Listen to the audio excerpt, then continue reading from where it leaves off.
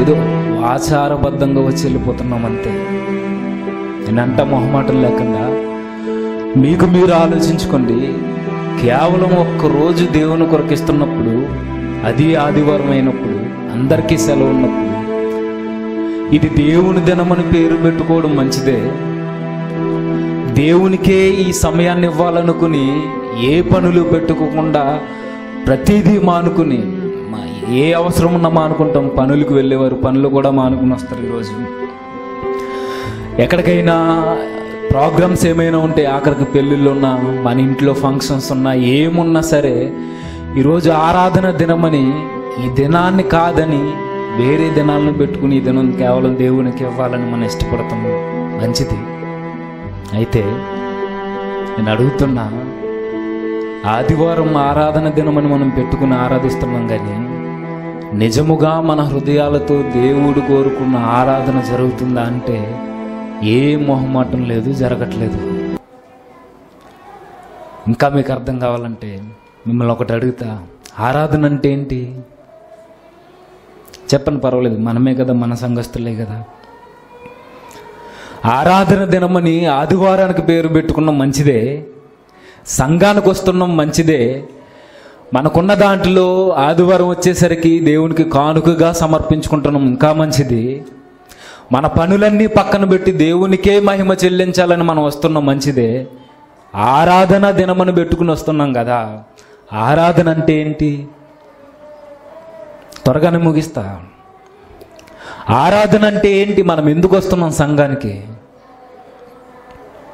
అర్థమవుతున్నాయి కదా నా మాటలు? మిమ్మల్ని అడుగుతున్నాను. ఆరాధన దినమని పెట్టుకున్నాం. దేవుణ్ణి ఆరాధించాలని వస్తున్నాం.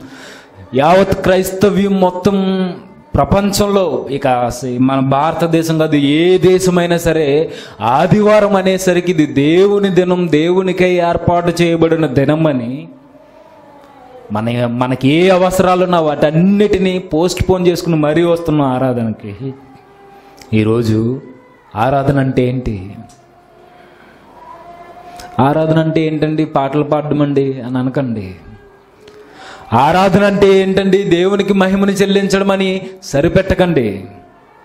ఆరాధన అంటే మన సమయాన్ని కేటాయించుకుని సంఘానికి రావడం ఆరాధన కాదది. మరలా అడుగుతున్నా ఆరాధన అంటే ఏంటి? తెలియలేదు మనకి. తెలిసి అనుకున్న భ్రమలో సంఘానికి వచ్చి రెండు గంటలు గడిపేసి వెళ్ళిపోతున్నాం అంతే. మన జీవితాలు ఆదివారం ఉన్నట్టుగా సోమవారం ఉంటాయా? ఉండవు. సోమవారం ఎవరు మనం? క్రైస్తవులమే. మీరు ఈరోజు ఏ మారుమూల గ్రామానికి వెళ్ళిపోండి బయట తిరిగేవాడు కూడా ఈరోజు సంఘంలో కూర్చుని దేవుణ్ణి ఆరాధించడానికి సిద్ధపడిన దినాలు ఇవి. కరెంటు లేని ప్రదేశాలకు కూడా వెళ్ళిపోండి. ఆదివారం అనేసరికి దేవునికే కేటాయించాలని వారి పనులన్నీ వారికి తినడానికి తిండి లేకపోయినా పని మానుకుని మరి వస్తారు ఆరాధనకి. నేను అడుగుతున్నా ఆరాధన అంటే అర్థం తెలుసా మనకి? తెలుసండి నేర్చుకున్నామని అనకండి మనకు తెలీదు. ఆరాధన అంటే మనం ఏమనుకున్నామంటే సంఘానికి రావడం పాటలు పాడడం కానుకలు సమర్పించేటప్పుడు కానుకలు ఇవ్వడం ఏదో మన సమయాన్ని రెండు గంటలు దేవునికి దారపోసమ్మన్నట్టుగా ఫీల్ అవ్వడం వచ్చి ప్రార్థన చేయడం ప్రభురాత్రి భోజన సంస్కార విందులో మనం పాలు పంచుకోవడం ఇక్కడికి వచ్చి గొంతెత్తి గలమెత్తి దేవునికి కీర్తనలో పాడడం వాక్యాన్ని బోధించడం ఇంకా చెప్పండి ప్రార్థనలు చేయడం ఇంకేమున్నాయి?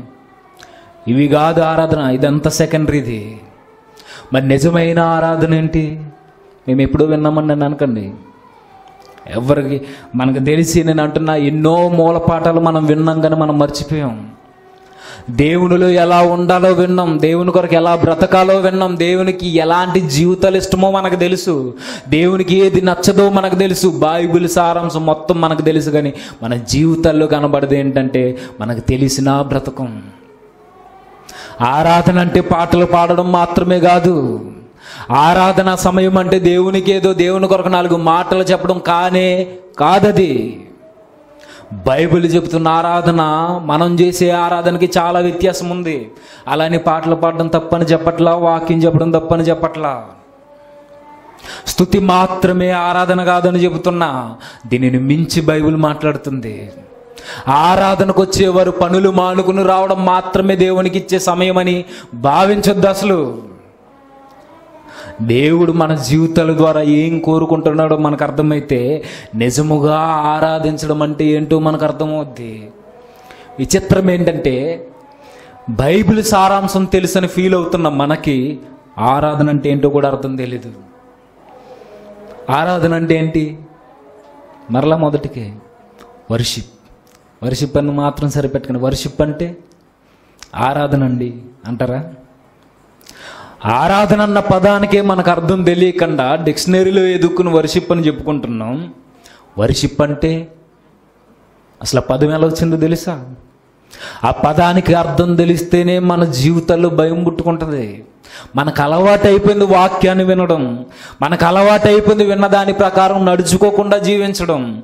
విని వెళ్ళిపోవడం. నేను చెప్తున్నా మన సంఘంలో జ్ఞానానికైతే ఏ కొదువా లేదు. సత్యమని పేరు పెట్టుకుని సత్యాన్ని ప్రకటిస్తున్న సంఘాల్లో జ్ఞానానికి ఏమాత్రం కొదవలేదు కానీ జ్ఞానానుసారమైన జీవితాలకు మాత్రం మనకు పునాదిలో కూడా మనం ఎవరు నిలబల్లా జ్ఞానం పుష్కలంగా వినబడుతున్నా నేర్చుకుంటున్నా నేర్చుకున్న దాని ప్రకారం మన జీవితాల్లో దేవునికి ఇచ్చే యోగ్యత అనేది మనం ఇవ్వట్లా. ఈ సంఘాన్ని గురించే కాదు ఏ సంఘమైనా. వర్షిప్ అన్న పదం వర్షిప్ అన్న పదం నుండి పుట్టుకొచ్చింది అది. లాటిన్ పదం నుండి గ్రీకు భాషా మూల పదం నుండి. వర్షిప్ అంటే దేవునికి యోగ్యతను ఆపాదించడం. మరలా ఆరాధన అంటే వర్షిప్ అని మనం అనుకుంటే వర్షిప్ అన్న పదానికి మూలార్థం ఏంటంటే దేవునికి యోగ్యతను ఆపాదించడం దేవునికి మాత్రమే యోగ్యతను ఆపాదించడం మీకు అర్థమవుతుందో లేదో మీకు అర్థం కావాలి ఈ పాటికి. ఆరాధన అని పేరు పెట్టుకున్న ఆదివారానికి ప్రాముఖ్యంగా ఈరోజు ఏం వారం? ఆదివారమే. ఇందులో ప్రాముఖ్యమైన దినం ఏంటి? మట్టల ఆదివారం. నెక్స్ట్ వచ్చేది ఈస్టర్ అది కూడా వర్షిప్పే పునరుద్ధాన దినపు ఆరాధన. అయితే ఆరాధన అన్న పదానికి వర్షిప్ అని అర్థమైతే వర్షిప్ యొక్క మూల భాషలో ఉన్న వాడిన పదాలు ఏంటంటే దేవునికి మాత్రమే యోగ్యతను దేవునికి మాత్రమే యోగ్యతను ఆపాదించుట. నేను అడుగుతున్నాను ఈరోజు ఆరాధనలో దేనికి ప్రాముఖ్యతనిస్తున్నాం? ఆరాధన అన్న పదానికి దేవునికి మాత్రమే కేవలం దేవునికి మాత్రమే యోగ్యత వెళ్ళాలి. దేవునికి మాత్రమే మహిమకరంగా జరగాలి. దేవుని మాత్రమే ఆరాధించాలి. ఈరోజు ఆరాధన ఈరోజు సంఘాల్లో దేనికి ఆరాధన జరుగుతుంది?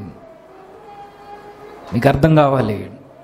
దేనికి ప్రాముఖ్యమైన స్థానాన్ని ఇస్తున్నామో తెలుసా? పాటలు పాడడానికి ప్రాముఖ్యమైన స్థానాన్ని ఇస్తున్నాము తప్పని అనట్లేదు సుమ్మా అపార్థం చేసుకోవద్దు.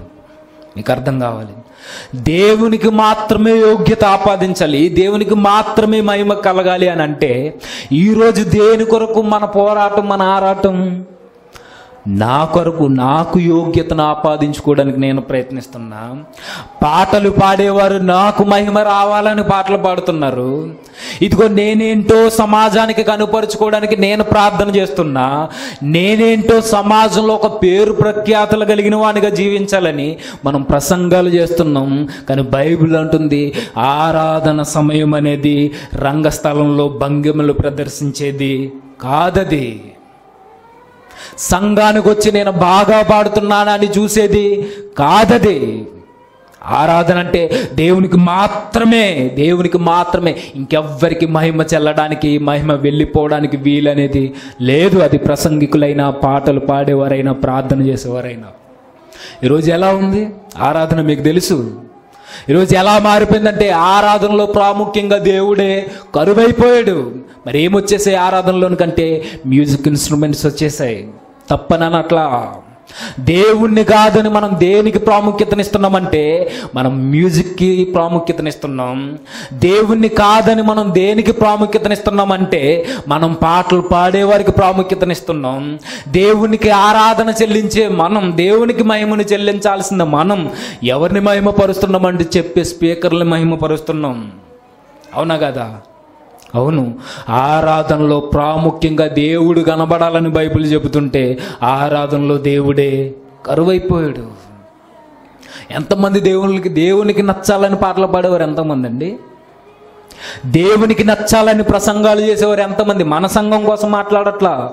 ఇది క్రైస్తవ్యాన్ని ఉద్దేశించి మాట్లాడుతున్నా. ఈరోజు జరుగుతున్న పోకడలు మీకు తెలుసు.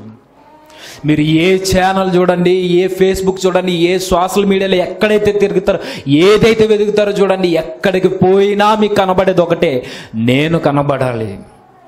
నాకు యోగ్యత రావాలి నేను మహిమపరచబడాలి. మరి దేవుడేడి దేవుడు ఎప్పుడూ కనుమరుగైపోయాడు. మొదట్లో ఉన్నంత దేనత్వం దేవునికే మహిమకరంగా నా జీవితం ఉండాలని తీసుకున్న నిర్ణయాలు ఎప్పుడో చచ్చిపోయాయి. ఎదిగే కొలది ఎదిగే కొలది బైబిల్ వదకమని చెబుతుంటే ఈ రోజు నాకు మహిమ పోతుందని దేవుణ్ణే పక్కకు నెట్టే బోధకులు వచ్చేసారు ఆరాధన వచ్చేసింది ఈరోజు ఆరాధన కొరకు విరివిగా ప్రసంగాలు అయితే వినబడుతున్నాయి కానీ ఆరాధనతో ముడిపడిన జీవన విధాన శైలికి జీవితాన్ని కట్టుకునే ఆ విధానానికి మాత్రం ప్రసంగాలు కనుమరుగైపోయాయి. జ్ఞానానుసారమైన వర్తమానాలు వినబడుతున్నాయి తప్ప జ్ఞానానికి మూల పురుషుడైన ఆ దేవుడికి ఆరాధన చెల్లించడం మాత్రం మానేసం మీకు అర్థం కావాలి. ఆరాధన అంటే ఇప్పటివరకు మీరు చెప్పారు కదండి దేవునికి యోగ్యతను ఆపాదించడం అని దేవునికి యోగ్యతను ఆపాదించడం అంటే? పాటలు పాడడం దేవునికి యోగ్యతను ఆపాదించడమే. వాక్యం చెప్పడం దేవుడికి మహిమకరంగా మహిమను చెల్లించే విధంగా చెప్పడమే. అది కూడా ఆరాధనే. కానీ నిజమైన ఆరాధన బైబిల్ ఏం చెప్తుందో తెలుసా? వీటన్నిటికీ వ్యతిరేకంగా మాట్లాడుతుంది బైబిల్. ఇవన్నీ సెకండరీ అంటది బైబిల్. ఆరాధన చేసేవాడికి ప్రాముఖ్యంగా ఉండాల్సింది ఏంటో తెలుసా? సండే వర్షిప్కి వచ్చిన తర్వాత నేను దేవుణ్ణి ఆరాధిస్తే నాకేం దొరుకుతుందని ఆలోచించకూడదట. దేవునికి నేను యోగ్యతను ఆపాదిస్తే దేవుణ్ణి నేను మహిమపరిస్తే దేవుడు నాకేమిస్తాడని ఆరాధన చేయకూడదంటుంది బైబిలు. దేవుడు ఏదైతే చెప్పాడో దేవుడు ఎలా అయితే చేయమన్నాడో దేవుడు ఎలా అయితే ఆరాధించమన్నాడో బైబిల్ ఏదైతే చెప్పిందో అలానే చేయాలట. ఈరోజు ఆరాధన ఈరోజు ఆరాధనలు జరుగుతున్నాయి. ప్రాముఖ్యంగా మనం దేనికి స్థానాలు ఇస్తున్నాం మీకు తెలుసు. వ్యక్తులకి ప్రాముఖ్యమైన స్థానాన్ని ఇస్తున్నాం. సంఘానికి వచ్చిన తర్వాత స్వరాలు బాగున్న వారికి మనం ప్రాముఖ్యతనిస్తున్నాం సంఘానికి వచ్చిన తర్వాత ఎవరైతే గొప్పగా కనబడుతున్నారో సమాజంలో వారికి యోగ్యతను ఆపాదిస్తున్నాం. ఇది సంఘంలో పనికిరాని పని దేవుని దృష్టిలో. దేవుడు ఎలా అయితే ఆరాధించమన్నాడో కేవలం దేవునికి మాత్రమే మహిమకరంగా ఉండాలని దేవుడు ముందే చెప్పాడు. దేవుడు ఏదైతే చెప్పాడో అది మాత్రమే సంఘంలో జరగాలట. బైబిల్ ఏదైతే ఘోషిస్తుందో అది మాత్రమే సంఘంలో కానీ సమాజంలో కానీ మన జీవితాల ద్వారా దేవునికి మహిమ చెల్లించాలట. బైబిల్ ఏం చెప్తుందో మీకు తెలుసు. ఒకనాడు ఆహరోనికి చెప్పాడు ఆయన ఇదిగో నేను ఏదైతే చెప్పానో అది మాత్రమే సన్నిధిలో జరగాలని దేవుడు చెబితే అహరోను కుమారులు ఏం చేశారు? నీకు తెలిసిన విషయాలే. దేవుడేమో ఇదిగో బలిపీఠం మీద నిత్యం అగ్ని మండుతూనే ఉండాలన్నాడు. అది ఆరడానికి వీల్లేదన్నాడు. అన్య అగ్నిని తీసుకొచ్చి దహన బలి చేయడానికి మీకు పర్మిషన్ లేదని దేవుడు చెప్పేశాడు ముందే. కానీ మీరు ఏం చేశారు? మీకు తెలిసి ఏం చేశారు? తాగేసి వచ్చి సంఘంలోనికి దేవునికే ఆరాధన జరిగించాలని దేవుడు చెప్పిన విధి విధానాలను బట్టి దేవుని ఆరాధించాలని బైబిల్ ముందుగానే చెబితే యహరోను కుమారులు నాదాబ్ అభిహి అభిహులు ఏం చేశారు? వారి ఇష్టం వచ్చినట్టుగా సంఘానికి వచ్చి దేవుడు చెప్పని అగ్నిని దేవుడు కాదన్న అగ్నిని దేవుడు వద్దన్న పనిని చేశారు. ఏమైంది? ఏమైంది? చచ్చరు అదే అగ్నితో. వీరు అన్యాగ్నిని తీసుకొచ్చి దేవుని సంఘ దేవుని సంఘంలో పెట్టారు. దేవుని సన్నిధి నుండి అగ్ని వచ్చి వీరిని ఏం చేసింది? నాశనం చేసింది. మీకు అర్థం కావాల్సింది ఏంటో తెలుసా? దేవుడు ఏదైతే చెప్పాడో అది మాత్రమే దేవునికి ఆరాధన చేయడానికి అర్హత కలిగినది. దేవుడు సంఘంలో ఎలా అయితే ప్రవర్తించమన్నాడో అదే సరి అయిన ఆరాధన. ఆరాధనకి కావాల్సింది ప్రాముఖ్యంగా స్వరాలు కాదు. ఆరాధనకి కావాల్సింది ప్రాముఖ్యంగా దేవుణ్ణి ఆరాధించడానికి కావాల్సింది బాగా పాడేవారు కాదు. బాగా ప్రసంగాలు చేసేవారు కాదు ఆయన కావాల్సింది ఆరాధించేవారు. బాగా ప్రార్థన చేస్తాడండి బాగా బైబిల్ చదువుతాడండి బాగా ఉంటాడండి వీడు. మంచి పేరుందండి. ఇది కాదు కావాల్సింది పై రూపాన్ని అయినా లక్ష్య పెట్టడైనా నీకన్నా బాగా పాడతారు సినీ సింగర్స్ అలాంటి తీసుకొచ్చి సంఘంలో పాడిస్తావా? దేవునికి నచ్చదది. నీకన్నా బాగా ప్రసంగాలు చేసేవారు నీకన్నా బాగా మోటివేషన్ చేసేవారు చాలా మంది ఉన్నారు. వారిని తీసుకొచ్చి మాట్లాడేస్తావా? అది దేవునికి యోగ్యత రాదు. మరి ఏది వస్తుందంటే బైబిల్ ముందుగానే చెప్పింది. దేవునికి యోగ్యత ఆపాదించేవారు కలిగి ఉండాల్సిన లక్షణం ఏంటంటే మనకి ఆరాధనకే అర్థం తెలియదు కదా. కానీ ఆరాధించే వాడికి ఉండాల్సిన లక్షణం ఏంటో బైబిల్ ముందుగానే చెప్పింది. చూద్దాం కీర్తనల గ్రంథం. కీర్తనల గ్రంథం తొంభై ఆరో అధ్యాయం. తొంభై ఆరో అధ్యాయం ఏడో వచ్చిన నుంచి. జనముల కుటుంబములారా యహోవాకు చెల్లించుడి మహిమా బలములు యహోవాకు చెల్లించుడి. యహోవా నామమునకు తగిన మహిమ ఆయనకు చెల్లించుడి. నైవేద్యము తీసుకుని ఆయన ఆవరణలోనికి రండి పరిశుద్ధ అలంకారములు ధరించుకుని యహోవాకు నమస్కారం చేయండి. మీకు అర్థం కావాలి మాట? మరలా మరలా చదువుదాం. ఆరో నుంచి ఘనత ప్రభావములు ఆయన సన్నిధిని ఉన్నవి బల సౌందర్యములు ఆయన పరిశుద్ధ స్థలములో ఉన్నవి జనముల కుటుంబములారా యహోవాకు చెల్లించుడి. మహిమ బలము ప్రతిదీ యహోవాకే చెల్లించాలి మీరు సన్నిధికి వచ్చేవారు. ఇదిగో యహోవా నామానికి మాత్రమే తగిన మహిమ ఆయనకు చెల్లించుడి. ఇవన్నీ దేవునికి చెల్లించాలంటే మీరు ఎలా ఉండాలో తెలుసా? బాగా పాటలు పాడడం కాదు. దేవునికి మహిమ రావాలంటే ఆయన నామానికి ఘనత కలగాలంటే మీరు చేయాల్సింది మెసేజ్లు బాగా చెప్పడం కాదు. అని చెప్తుంది ఏంటో తెలుసా? ఆయన నామానికి మహిమ కలగాలంటే ఆయన బలాక బలాక్రమ గలువాడని సమాజానికి తెలియాలంటే ఆయన అంటున్నాడు సన్నిధికి వచ్చే మీరు ఆరాధన జరిగించే మీరు దేవునికి మహిమ చెల్లించాలని మీ పనులు పక్కన పెట్టి వస్తున్న మీరేం చేయాలో తెలుసా? పరిశుద్ధ అలంకారాన్ని ధరించుకుని దేవుని సన్నిధికి రావాలి. పరిశుద్ధత అనే అలంకరణ ధరించుకుని రావాలి. నువ్వే డ్రెస్ వేసుకున్నావని దేవుడు అడగడు. నువ్వేం చెబుతావని దేవుడు అడగడు. నువ్వే పాట పాడతావని దేవుడు అడగడు. నువ్వు వచ్చి నిమ్మలంగా కూర్చుంటున్నావా లేవా అని ఇదంతా సెకండరీ. ముందడిగేది ఆయన ఏంటో తెలుసా? పరిశుద్ధతని అలంకరణ ధరించుకుని నువ్వు సంఘానికి రావాలి. అది దేవునికి నిజమైన ఆరాధన. ఈరోజు ఆరాధన ఏంటి? పనులు మానుకుని రావడం ఆరాధన అయిపోయింది. పాటలు పాడడం ఆరాధన అయిపోయింది. దేవుని స్థానాన్ని పక్కన పెట్టి మనుషులకు యోగ్యతను ఆపాదించడం ఆరాధన అయిపోయింది. పరిశుద్ధతతో యథార్థతతో చేసే ఆరాధన దేవుని సన్నిధిలో ఉందా? విచిత్రం ఏంటో తెలుసా? దేవుడు నరులందరినీ ఎలా పుట్టించాడట? యథార్థవంతులుగా పుట్టించాడంటుంది బైబిల్. కానీ మనిషి ఏం చేశాడు? యథార్థ హృదయంతో దేవునికి ఆరాధన కలగాలని దేవుడు యథార్థవంతులుగా పుట్టిస్తే మనిషి వివిధ తంత్రాలు కల్పించుకుని ఈరోజు ఆరాధన స్థలంలో చేసే భంగిమలేంటో తెలుసా?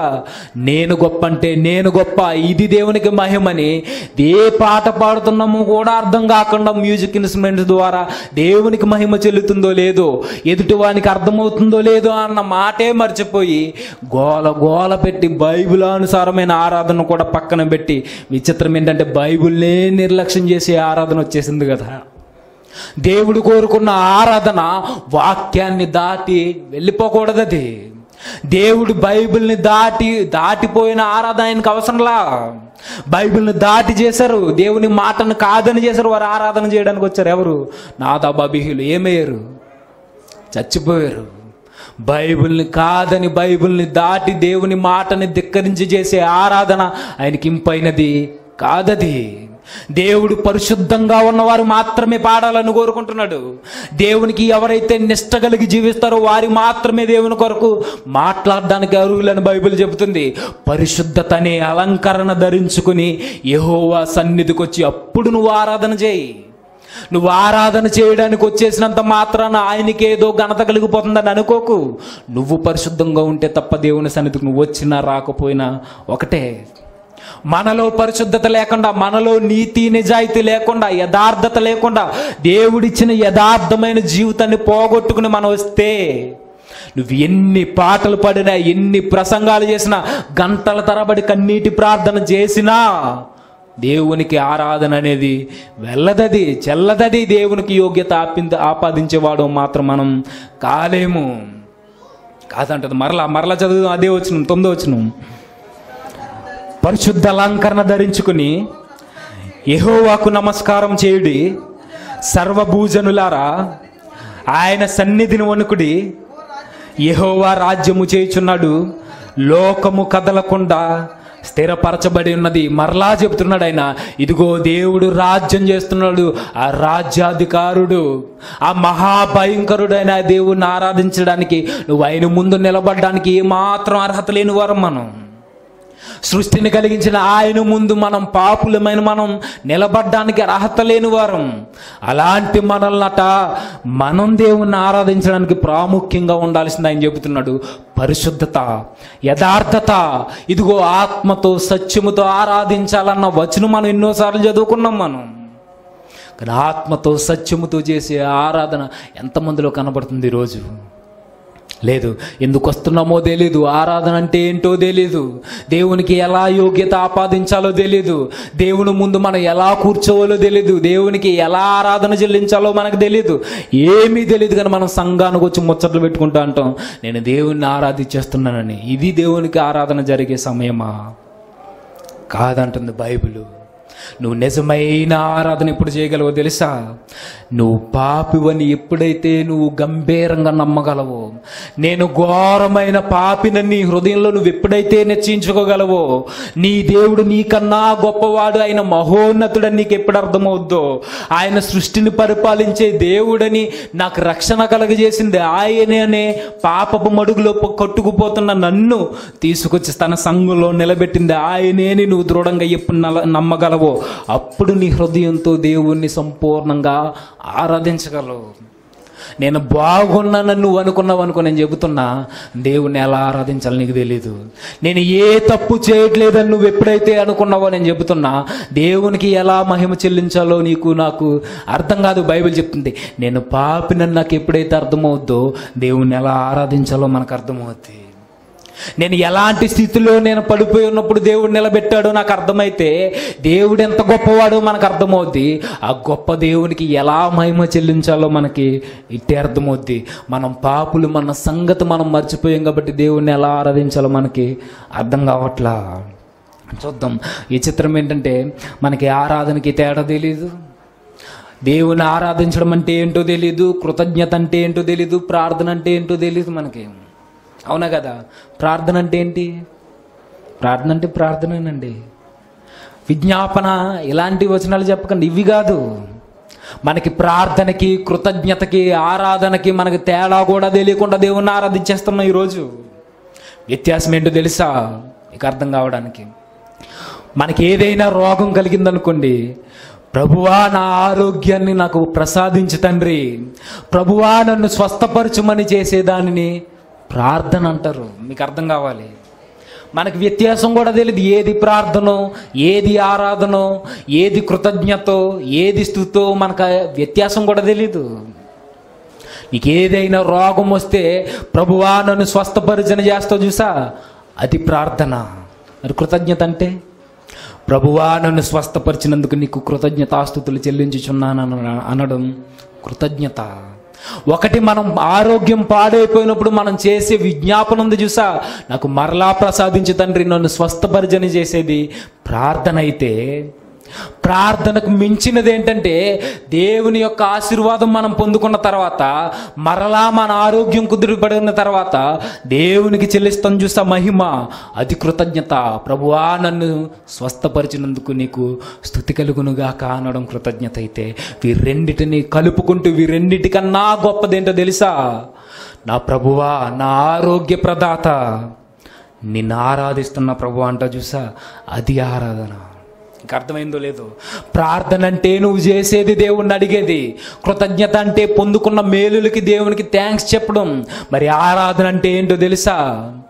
నా ఆరోగ్య ప్రదాత నిన్ను స్థుతిస్తున్నానయ్యా నీవే రక్షకుడువు నీవే గాయాల్ని కట్టగలవాడు. నిన్ను స్థుతిస్తున్నా నువ్వు గొప్పవాడని చెప్పడం. ఆరాధన మొట్టమొదటిగా దేవునికి చేయాల్సింది ఏంటో తెలుసా? ప్రార్థన కాదు. దేవుణ్ణి కనపరచాల్సింది ఏంటో తెలుసా? కృతజ్ఞత కాదు. ఇదిగో ప్రభువా నీవే నా ఆరోగ్య ప్రదాతవి. నీవు మహత్తరమే చేయగలవు అని ముందు దేవుణ్ణి ఆరాధించడం మనం నేర్చుకోవాలి. దేవుణ్ణి ఆరాధించాలంటే ఏముండాలంటే బైబిల్ మరలా చెప్తుంది. పరిశుద్ధత అనే అలంకరణ మనకు ఉండాలని చెబుతుంది. ప్రభువా నన్ను రక్షింపని చేసేది ప్రార్థన అయితే నన్ను రక్షించినందుకు నీ కృతజ్ఞతలు దేవా అని చెప్పేది కృతజ్ఞత అయితే. ఇదిగో నా రక్షకుడా ఇదిగో నన్ను కాపాడేవాడా అని దేవునికి యోగ్యతను ఆపాదించేది. ఆరాధన వ్యత్యాసం కూడా తెలియకుండా అనుకుంటున్నాం మనం దేవుణ్ణి ఆరాధించేస్తున్నాం అని అంటా ఒక మాట ఇప్పుడు అనేది. మన ఆరాధన ఎలా ఉండాలో తెలుసా? దేవుని నుండి మనం ఏదో పొందుకుంటాము. దేవునికి మనం ఏదో చేస్తే దేవుడు మనల్ని ఆశీర్వదిస్తాడన్నది కాదు. ఆశీర్వాదాల మీద మనం మనసు నిలపడం కాదు కానీ ఆశీర్వాద కారకునికి ఎలా నా జీవితం ద్వారా మనసు ఎలా నా జీవితం ద్వారా యోగ్యతను ఆపాదించాలని చేసేదే నిజమైన ఆరాధన. ఈరోజు దేవుడి నుండి ఏం పొందుకోవాలని చేసే ఆరాధనలు ఎక్కువైపోయాయి. నన్ను ఎలా మెచ్చుకోవాలని చేసే ఆరాధనలు ఎక్కువైపోయాయి తప్ప దేవునికి నిజంగా ఆరాధన చేరుతుందా? దేవునికి నిజముగా నేను కనబడుతున్నానా అని చేసే ఆరాధన పోయింది. ఒక భక్తుని జీవితం ఎలా ఉంటుందో తెలుసా? మనం ఎప్పుడు ఆరాధన చేస్తాము మనం అన్ని పరిస్థితులు బాగుంటే ఆరాధన చెల్లిస్తాం. మనకన్నీ సౌఖ్యంగా జరుగుతుంటే మనకి ఏ ఇబ్బంది కష్టాలు కన్నీళ్ళు ఏమీ లేకుండా ఆదివారం ఒక గంట వచ్చి దేవునికి మనం చెల్లిస్తున్నాం అనుకుంటున్నాం ఆరాధన. కానీ ఒక వ్యక్తి ఒక వ్యక్తి జీవితంలో తన ఆరాధన ఎలా చేస్తున్నాడో తెలుసా దేవునికి? తన జీవితంలో ఏమున్నా లేకున్నా నేను దేవుని కొరకే బ్రతుకుతానని అనడం ఆరాధన అది నేర్పిస్తున్నాడు ఒక భక్తుడు. చూద్దాం హబక్కు గ్రంథం. హబక్కు గ్రంథం. మూడో అధ్యాయం.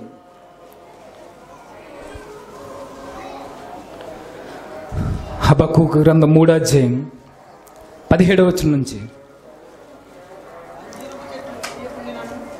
మూడో అధ్యాయం పదిహేడవ వచ్చిన నుంచి. అంజూరపు చెట్లు పూయకొండినను ద్రాక్ష చెట్లు ఫలింపకపోయినను వలీవ చెట్లు కాపు లేక ఉండినను చేనిలోని పైరు పంటకు రాకపోయినను గొర్రెల దొడ్డిలో లేకపోయినను సాలలో పశువులు లేకపోయినను నేను యెహోవా ఎందు ఆనందించెదను. నా రక్షణకర్త అయిన నా దేవుని యందు నేను సంతోషించెదను. హబక్కుకు గ్రంథం మీరు చదివితే మీకు అర్థమవుద్ది. ఇస్రాయేలీల మీద అన్ని జనులు తిరుగుబాటు చేస్తుంటే ఇస్రాయేలీ బబులోను రాజులు వచ్చి వీరందరినీ చెరకు తీసుకు వెళ్ళిపోతుంటే బాధపడుతూ యెహోవాకు ప్రార్థన చేస్తున్నాడు ఆయన. ప్రభువా మాకన్నా క్రూరులు కదా వీరు. మాకన్నా నీచులు కదా. ఇస్రాయేలీల్ని ఎన్నుకున్నది నీవే కదా ప్రభువా. నువ్వేంటి ఆ జనులకు మమ్మల్ని అప్పగిస్తున్నామని దేవునితోనే వాదన పెట్టుకుని దేవుణ్ణే ప్రశ్నిస్తుంటే దేవుడు అన్న మాట మీకు తెలుసు సందర్భం. మిమ్మల్ని కొట్టడానికి వారిని రప్పించాను కదా. వారికి కూడా ఎలా బుద్ధి చెప్పాలో నాకు తెలుసు. ఇదిగో మీ జీవితాలు బాగోలేదు కాబట్టి వారు వచ్చారు వారి గర్వాన్ని బట్టి వారిని నేను వాడుకుంటున్నా. వారికి ఎలా బుద్ధి చెప్పాలో నాకు బాగా తెలిసిన సందర్భంలో ఆయన మాట్లాడుతున్నాడు. దేవుడు తనకి దర్శనాల రూపంలో బయలుపరిచిన తర్వాత వారి యొక్క ఎవరైతే ఇస్రాయేలీని చెరకు తీసుకువెళ్ళిపోతున్నారో వారి భవిష్యత్తు దేవుడు చెప్పిన తర్వాత హబక్కుకు దేవునితో ఎలా మాట్లాడాలో తెలియక దేవుని ఎందు ఎలా ఆనందిస్తున్నాడో చెప్తున్న సందర్భంలో ఆయన కీర్తన ప్రార్థన రూపంలో మాట్లాడుతున్నది అది మూడో అధ్యాయంలో. ఆయన తంతి వాద్యములతో పాడదగిన కీర్తనగా మాట్లాడు కనబడుతూ ఇంచుమించు ఏడో వచ్చిన వరకు ఆయన చేసిన ప్రార్థన కనబడుతుంది. తర్వాత దేవుని ఆరాధించడంలో ఆయనకి యోగ్యతను ఆపాదించడంలో ఆయనకి ఏమున్నా లేకుండా నేను దేవుని కొరకే బ్రతుకుతానని నిశ్చయించుకోవడంలో కనబడుతుంది. ఆయన జీవితంలో దేవునికి ఎంత ప్రాముఖ్యమైన స్థానాన్ని ఇచ్చాడో. ఇప్పుడు చదువుతాం మాట. అంజూరపు చెట్లు పూయకుండినను ద్రాక్ష చెట్లు ఫలింపకపోయినను ఒలివ చెట్లు కాపు లేకయుండినను చేనులోని పైరు పంటకు రాకపోయినను గొర్రెలు దొడ్డిలో లేకపోయినను సాలలో పశువులు లేకపోయినా ఏమున్నా ఏమి లేకున్నా నాకు తినడానికి తిండున్నా నాకు తినడానికి ఏమీ లేకున్నా నాకు వస్త్రం లేకున్నా నాకు గూడు లేకున్నా నాకు కట్టుకోవడానికి ఏమీ లేకున్నా నా అన్నవారు నాకు ఎవ్వరు లేకపోయినా నేను చేసేది ఏంటో తెలుసా? దేవునితో మాత్రమే ఉంటానని ఆయన నిశ్చయించుకున్నాడు ఆయన. దేవుని యొక్క గొప్పతనం ఆయనకు అర్థమయ్యేసరికి ఆయన బుద్ధి బాహుల్య బలములు ఆయనకి ఎప్పుడైతే అర్థమైందో దేవుని యొక్క జ్ఞానం ఈయన సొంతం చేసుకోవడం ఎప్పుడైతే మొదలు పెట్టాడో ఆయన మాట్లాడుతుంటున్నాడు నాకు ఏం లేకపోయినా పర్వాలా? నా అన్నవారే నాకు దూరమైనా పర్వాలా? గొర్రెలు నాకు లేకపోయినా పర్వాలా? నాకు సంపాదన లేకపోయినా పర్వాలా? నన్ను ఎవ్వరూ పట్టించుకోకపోయినా పర్వాలా? నన్ను ఎవరైతే నమ్మారో వారందరూ నన్ను విడిచి వెళ్ళిపోయినా నేను చెబుతున్నా. నేను దేవునికి మాత్రమే యోగ్యత ఆపాదించే విధంగా ఏం జరిగిపోయినా నా జీవితంలో నేను దేవుని ఎందు మాత్రమే ఆనందిస్తా అనడం నిజమైన ఆరాధన హబక్కుగ్గర చేస్తున్నారండి ప్రార్థనలో. ఈరోజు నేను అడుగుతున్నా మన కష్టాలు వస్తే దేవుని సన్నిధికి వస్తామా? మన కన్నీళ్ళు వస్తే దేవుని కొరకు ప్రాకులాడాలని దేవుని కొరకు పరిగెడతామా? ఏమీ లేదు. ఎవరో ఏదో అంటేనే సంఘాన్ని మానేస్తాం మనం. ఎవరో ఎవరికో ఒకరికి నచ్చట్లేదు అంటేనే మనం సరిగా ఇక్కడ వాక్యాన్ని వినం. ఏదో దేవుడు మనల్ని ఏదో అనుకుంటున్నారంటేనే సంఘానికి రాము. ఇక మన ఆరాధన చెల్లిస్తున్నామని అనుకోవడానికి ఏ మాత్రం అర్హత ఉందండి బైబిల్ ప్రకారం. ఏం పోయినా ఏమున్నా ఏం లేకున్నా నేను దేవునితోనే ఉంటాననడం. ఆరాధన అయితే మనకు యోబు గారు తెలుసు కదా. అన్ని పోయిన తర్వాత చేశాడు సాష్టాంగబడి ఆరాధన. సాష్టాంగ నమస్కారం చేసి ప్రభువా నువ్వే ఇచ్చు నువ్వే తీసుకున్నావు. నేను మాత్రం నిన్ను విడిచిపెట్టను అన్నాడు. అది ఆరాధన. ఏమున్నా లేకున్నా చేసేదే నిజమైన ఆరాధన. ఈరోజు మన ఆరాధనలు ఏంటి? మనకు అన్ని పరిస్థితులు బాగుంటే వచ్చి సంతోషంగా కీర్తన పాడతాం. మనకు అన్ని పరిస్థితులు అనుకూలంగా ఉంటే వచ్చి మనం మాట్లాడతాం. అన్ని పరిస్థితులు బాగుంటే వచ్చి కూర్చుని వాక్యాన్ని వింటాం. ఇది ఆరాధన. కాదు సుమా దేవునికి నచ్చం నేను చెబుతున్నా. మనం వచ్చి ఎవరినో మెప్పించిన అవసరం లే. దేవునికి నచ్చుతున్నామా లేదా? మన జీవితాల ద్వారా దేవునికి మహిమ చెల్లుతుందా లేదా అన్నది దేవుడు చూస్తాడు. అది లేకుంటే నువ్వు ఎన్ని పాటలు పాడితే శుభ ఉపయోగం ఏముంది? నువ్వు ఎంత గొంతెత్తి కీర్తనలు పాడితే ఉపయోగం ఏముంది? ఏం లేదు. ఒక గంట నువ్వు వస్తున్నావు బయటికి వెళ్ళిపోయి చూడండి. మన సహోదరు బయట వాళ్ళు కూడా అన్యులు కూడా వెళ్తారు కదా సంఘాలకి వారు గుళ్ళకి. వారికి మనకి తేడా ఏముంది? బైబిల్ కోరుకున్నది ఒక్కటే. చూద్దాం మాట. యోహాను సువార్త. ముగించుకుందాం.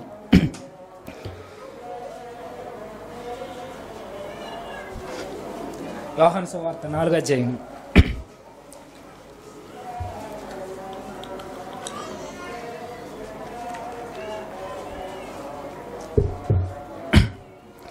యోహాను సువార్త నాలుగు అధ్యాయం. సందర్భం మీకు తెలిసిందే మనకు కావాల్సిన మాట ఇరవై నాలుగో వచ్చి నుంచి.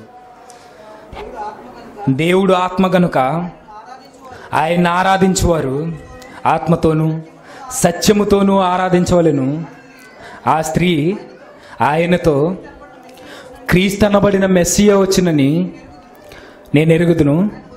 ఆయన వచ్చినప్పుడు నాకు సమస్తమును తెలియజేయనని చెప్పగా యేసు నీతో మాట్లాడుచున్న నేనే ఆయనని ఆమెతో చెప్పాను. మనందరికీ సందర్భం మనందరికీ తెలిసిందే.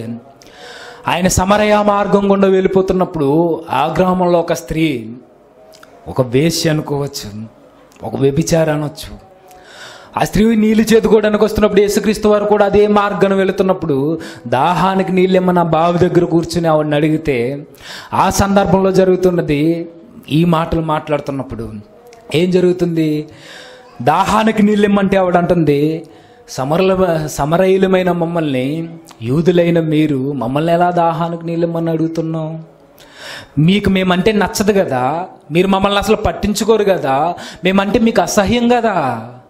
మీరు మా నీళ్ళు ఎలా తాగుతారు? అని అంటే యేసుక్రీస్తు ఏం మాట్లాడకుండా నువ్వు ఇప్పుడు నీళ్ళు ఇవ్వు నువ్వెప్పుడు ఇక్కడ బావి దగ్గరకు రాకుండా నీకు నేను జీవజలాలు ఇస్తానని ఆయన చెబితే అవేవో త్వరగా ఇచ్చే అని అన్నది ఆవిడ. అలా అన్న వెంటనే ఆయన అంటున్నాడు పోయి నీ భర్తను తీసుకురా నీ భర్తను తీసుకురా అంటే నాకు పెనిమిట్ లేడు. మరి నాకు ఏం తెలియదు అన్నట్టుగా ఆవిడ చెప్తుంది నాకు పెనిమిట్ లేడు. చేయాల్సినవన్నీ చేసేసి పైకి చెప్తారు నాకు ఏం తెలియదని బైబిల్ ముందే చెప్పింది కదా అన్నీ చేసేసి మూతుడుచుకుని వచ్చి చెప్తారట. నేను ఎరుగును నేను తినలేదని. అదే జరుగుతుంది ఇక్కడ కూడా.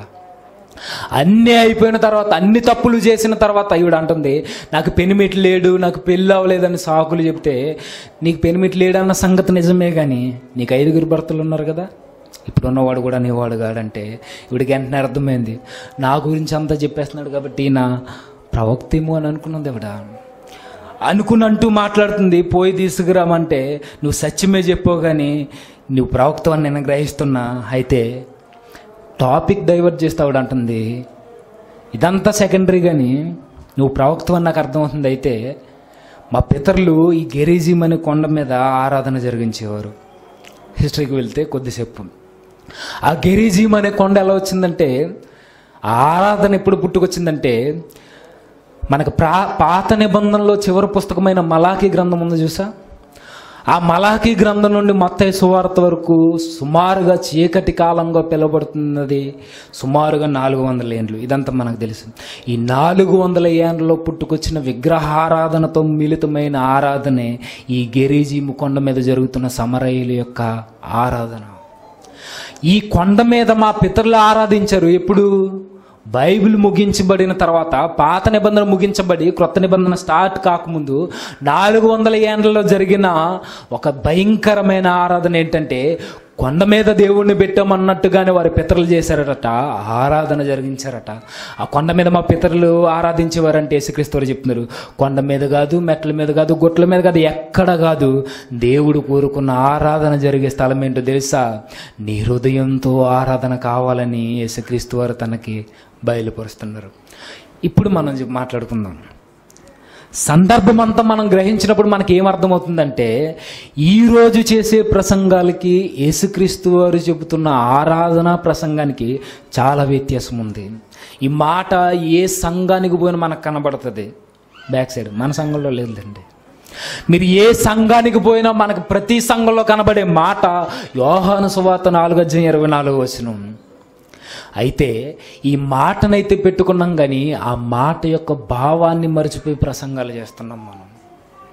ఈరోజు ఎలా ఉన్నాయంటే ఆరాధన యేసుక్రీస్తు వారు ఆరాధన గురించి చెప్పే ముందుగా ఏం చెప్తున్నారంటే ఆమె యొక్క జీవిత విధానాన్ని గురించి మాట్లాడారు బాగా గమనించండి. ఈరోజు ఆరాధనలు గురించిన ప్రసంగాలు అయితే ఉన్నాయి కానీ దేవునికి బహుగా ఆరాధన చెల్లించే సంఘాలు అయితే ఉన్నాయి కానీ ప్రత్యేకంగా ఆరాధన సమయం అని పెట్టుకున్నారు ఆరాధన రోజులో కూడా. పాటలు పాడేసిన తర్వాత వాక్యానికి ముందు పది నిమిషాలు దేవుణ్ణి ఆరాధించడానికి సమయాన్ని కూడా పెట్టుకున్నాం. మంచిదే. నేను అంటున్నా ఆరాధన ఆ ఆరాధన సమయం ముందు చూసా? ఆరాధన సమయానికి వచ్చే ముందు యేసుక్రీస్తు మాట్లాడుతుంది ఏంటో తెలుసా? జీవిత విధానాన్ని ఎలా కట్టుకోవాలో మాట్లాడి సమరయ స్త్రీ యొక్క జీవిత విధానం గురించి మాట్లాడి ఆవిడ యొక్క పాపాల్ని ఎత్తి చూపి ఆవిడ హృదయంలో వాక్యాన్ని గుచ్చి అప్పుడు మాట్లాడుతున్నాడు. ఇప్పుడు నీవు దేవునికి ఆరాధన చేయడానికి నీ ఆత్మతో సత్యముతో ఆరాధన చేయమని. మీకు అర్థమైందో లేదో మరలా యేసుక్రీస్తు వారు ప్రసంగం ఏం చేశారు అక్కడ? ఇదిగో నీకు జీవజలాలను ఇస్తాను నువ్వు నాకు మంచినీళ్ళు ఇవ్వంటే మీరు మా దగ్గర కా తాగరు కదా మేమేమో మేమేదో మీకు అంతరాని వారముగా చూస్తారు కదా అంటే యేసుక్రీస్తు వారు నేను ఇస్తానంటే ఆవిడ అంటే నాకు ఇచ్చే నేను ప్రతిరోజు ఇక్కడికి రాలేకపోతున్నానంటే పోయి నీ భర్తను తీసుకురమ్మని తన చేసిన తప్పులు తన నోటితోనే ఒప్పించేలా యేసుక్రీస్తు వారు ప్రసంగం మొదలుపెట్టారు. ఆయన సువార్త చేస్తూ మొట్టమొదటి చేసింది ఏంటంటే ఎదుటివాని యొక్క పాపాలు వారి నోటితోనే నేను పాపినని ఎలా ఒప్పుకోవాలో ప్రసంగం చేయాలి. అది చేసిన తర్వాత ఇదిగో నీ జీవితం సరైనది కాదు నీలో అన్ని మచ్చలేని వాడికి అర్థమైన తర్వాత అప్పుడు అడుగుతాడు. ఏమన్నా తెలుసా? నేను ఎలా దేవుణ్ణి ఆరాధించాలని? ఇదిగో మా పితరులు అక్కడ ఆరాధన చేసేవారు. మరి మీరేమో ఎక్కడో ఆరాధన చేయాలని చెప్తారు కదా అంటే మీరు మీకు తెలిసిన దాన్ని మీకు తెలియని దాన్ని మీరు ఆరాధిస్తున్నారు. ఏ ఆరాధన చేయలేదు తెలుసా? ఇప్పుడు యూదులైనా గ్రీసు దేశస్థులైనా సమరయులైనా ఎవరైనా చేయాల్సిన ఆరాధన ముందు జీవిత విధానాన్ని మార్చుకుని అప్పుడు ఆత్మతో సత్యముతో ఆరాధన చేయమనేసి క్రీస్తు వారు ఆ సమరయ స్త్రీకి చెప్తున్నాడు ఆయన. ఆత్మతో ఆరాధన అంటే ఏంటి? సత్యముతో ఆరాధన అంటే మనకు తెలుసు వాక్యాన్ని కాదని మనం ఆరాధన చేయకుండా ఉండడం. ఈరోజు ఆరాధన సమయంలో ఏమవుద్ది? బైబిల్ కిందే ఉంటుంది కాళ్ళ దగ్గర. ఎగిరి గంతులు వేసి బైబిల్ని తొక్కే ఆరాధనలు లేవా? ఉన్నాయి. ఈరోజు బైబిల్ని కాదని ఆరాధనలు జరగట్లేదా? బైబిల్ చెప్పని ఆరాధన జరగట్లేదా సంఘాల్లో? జరుగుతున్నాయి. సత్యముతో ఆరాధన దాటిపోయాం మనం. మరి ఆత్మతో ఆరాధన ఏంటో తెలుసా? ఆయన ముందే చెప్పాడు పరిశుద్ధత అనే అలంకరణ ధరించుకుని చేసే ఆరాధనే నిజమైన ఆరాధన. యేసుక్రీస్తు వారి జీవిత విధానాన్ని గురించిన ప్రసంగం చేసిన తర్వాత చెబుతున్నాడు నీ జీవిత విధానం బాగుంటే నువ్వు పాపివని నీకు అర్థమైతే నీ జీవిత విధానాన్ని కట్టుకోవడానికి నువ్వు ఆరాట పడతావు అలా ఎప్పుడైతే ఆరాట పడ్డావో దేవుణ్ణి ఎలా ఆరాధించాలో నీకు అర్థమవుద్ది. దేవుణ్ణి ఎలా ఆరాధించాలో నీకు అర్థం కావాలంటే ముందుగా నీకు తెలియాల్సింది నేను పాపినని గ్రహించడం. అదే యేసుక్రీస్తు వారు చేశారు. నువ్వు పాపివు కాబట్టి నువ్వు చేయాల్సింది ఏంటో తెలుసా? ఆత్మతో ఆరాధన నువ్వు జరిగించాలి. నీకు చెప్పేది ఏంటో తెలుసా? మీకు ఇంకొక మాట ఏంటంటే ఆవిడ అంటుంది ఆరాధన ఎలా చేయాలని యేసుక్రీస్తు వారు చెబితే సరే ప్రభు ఇవన్నీ మాకు సరే ప్రవక్తని మాట్లాడుతుంది ఏం మాట్లాడింది తెలియదు సరే ఇవన్నీ చెప్తున్నావు కదా ఇవన్నీ మాకు మెస్సీ వచ్చి చెబుతాడంటే మొట్టమొదటిగా యేసుక్రీస్తు వారు పరిచయం చేసుకున్న స్త్రీ ఎవరో తెలుసా? యేసుక్రీస్తు వారు ఎక్కడ నేనే మెస్సీ అని తనకు తానుగా చెప్పలా? ఎక్కడ నేనే దేవు నేనే దేవుని యొద్ నుండి వచ్చిన మనుషునని ఈవిడికి చెప్పే ముందుగా ఎక్కడ చెప్పలా? మొట్టమొదట గొర్రెల కాపర్లకు వినబడింది దేవదూత ద్వారా ఈయనే మెస్సి అని. మొట్టమొదటిగా తనకు తానే పరిచయం చేసుకుంటున్నాడు నేనే మెస్సి అని. యేసుక్రీస్తు వారే స్వయంగా ఒక పాపాత్మురాలైన స్త్రీతో చెప్తున్నాడు నీ జీవిత విధానాన్ని నువ్వు కట్టుకుంటే తప్ప ఇదిగో నువ్వు పాపివని నువ్వు గ్రహిస్తే తప్ప నిజ దేవుణ్ణి ఎలా ఆరాధించాలో నీకు అర్థం కాదు.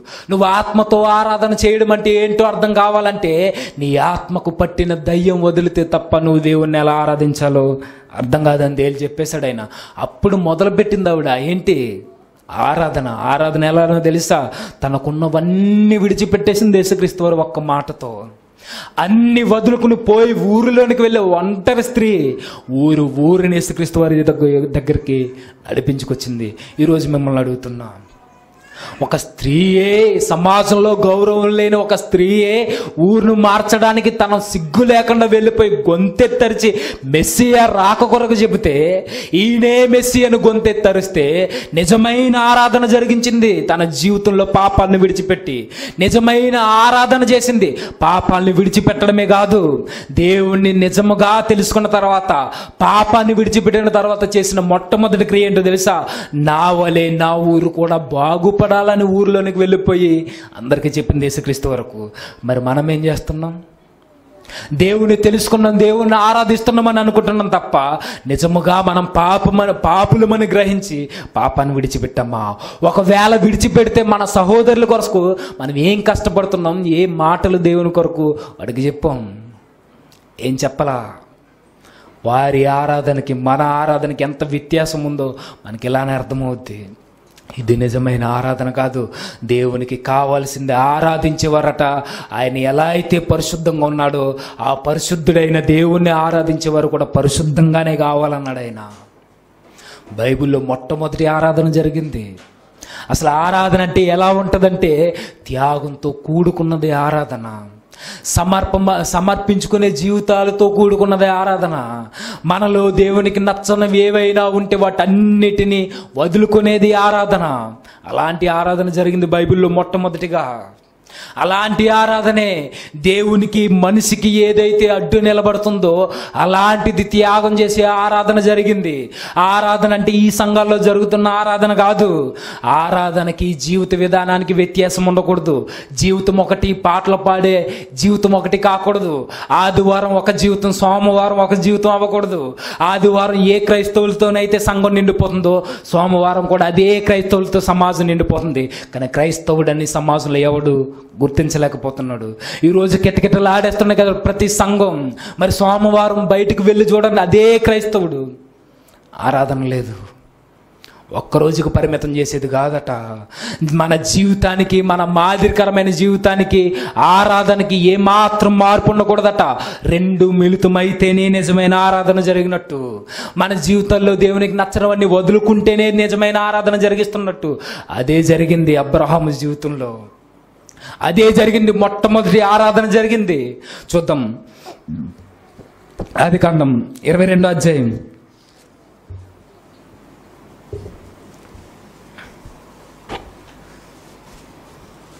ఇరవై రెండో అధ్యాయం. నాలుగో వచ్చి నుంచి.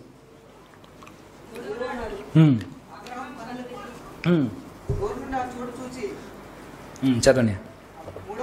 మూడవ నాడు అబ్రహాము కన్నులెత్తి దూరము నుండి ఆ చోటు చూచి తన పనివారితో మీరు గాడిదతో ఇక్కడనే ఉండి నేనును ఈ చిన్నవాడును అక్కడికి వెళ్ళి దేవునికి మ్రొక్కి మరలా మీ యొద్దకు వచ్చేదమని చెప్పి దహన బలికి కట్టెలు తీసుకుని తన కుమారుడు ఇస్సాకు మీద పెట్టి తన చేతితో నిప్పును కత్తిని పట్టుకుని పోయాను. వారిద్దరూ కూడి వెళ్ళిపోయారట. మీకు తెలుసు. లేక లేక సంతానంగా ఇస్సాకుని అబ్రహాముకి ఇస్తే మరలా అబ్రహామును పరిశోధించడానికి క్షమించండి. అబ్రహామును పరిశీలించడానికి పరిశోధించడానికి పరీక్షించడానికి దేవుడు ఒక టెస్ట్ పెడుతున్నాడు. ఏంటి? ఇదిగో నీ గుండెల్లో పాతుకుపోయి నువ్వు విపరీతంగా ప్రేమిస్తున్నావు కదా ఇస్సాకు నీ కుమారుడు.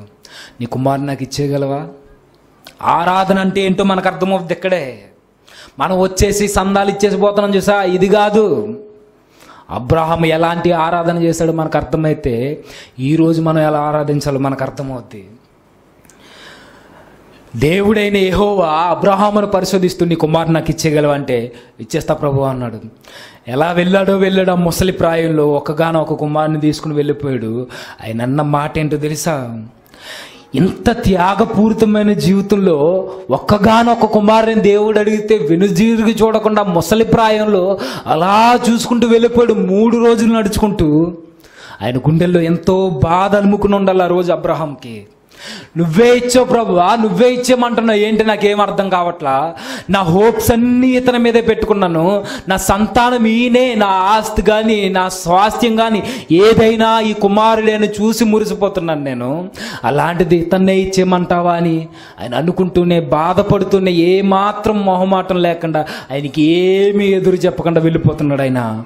నాకు తెలిసి ఎన్నోసార్లు ఏడ్చుకుంటూ వెళ్ళుంటాడు ఆయన. అడిగినప్పటి నుండి ఆ గుండె పగిలిపోయి ఆ ముసలి ప్రాయంలో ఏం చేయాలో తెలియక దేవునికి మాటకి ఎదురు చెప్పలేక నిజముగా నేను దేవుణ్ణి ఆరాధించేవాడినా కాదని తనకు తాను కూడా పరీక్ష పెట్టుకున్నాడు ఆయన. ఇస్సాకుని తీసుకుని వెళ్ళిపోతూ వెళ్ళిపోతూ తన పనివారు తన మాట ఏంటో తెలుసా? మీరు ఇక్కడే నిలిచి ఉండండి నేను వెళ్ళిపోయి దేవునికి మొక్కుకుని వస్తానంటున్నాడు ఆయన. మొక్కుబడి అంటే ఏంటో తెలుసా? బైబిల్లో మొట్టమొదటిగా ఆరాధన అన్న పదం వినపడుతుంది ఇక్కడే. మీరు ఇంటికి వెళ్ళిన తర్వాత చదవండి. ఒకవేళ ఎవరి దగ్గరైనా మొబైల్స్ ఉంటాయి కదా అందులో వాడుక బాస్ ఉంటే మీరు చదవండి వెళ్ళి. అందులో ఏమంటారు తెలుసా? మీరు ఎక్కడే నిలిచి ఉండిపోండి నేను వెళ్ళి దేవుణ్ణి ఆరాధించి వస్తా. చూసేద్దాం ఎందుకు ముగించేసుకుందాం? నేను చదువుతాను మీరు చూడండి. అది కన్నా ఇరవై రెండో అధ్యాయం ఐదో వచ్చినాం మీరు ఇక్కడ గాడిదతో ఉండండి. నేను అబ్బాయి అక్కడికి వెళ్తాం. దేవుణ్ణి ఆరాధించి మీ దగ్గరికి తిరిగి వస్తాం.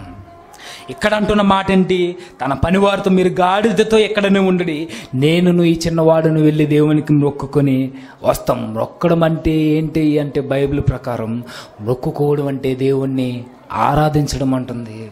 మీరు మూల భాషకు వెళ్ళిపోయి చూసిన ఆ మొక్కుబడి అన్న పదానికి అర్థం నిలువెత్త అర్థం ఆరాధన. ఇప్పుడు అంటున్నా. దేవుణ్ణి ఆరాధించాలని ఇస్సాకును బలిస్తూ నేను దేవుణ్ణి ఆరాధించి వస్తానని చెప్తున్నాడేంటి వీరికి అంటే అబద్ధం ఆడుతున్నాడా? ఇస్సాకునేమో దేవునికి బలి ఇవ్వడానికి తీసుకెళ్తున్నాడు.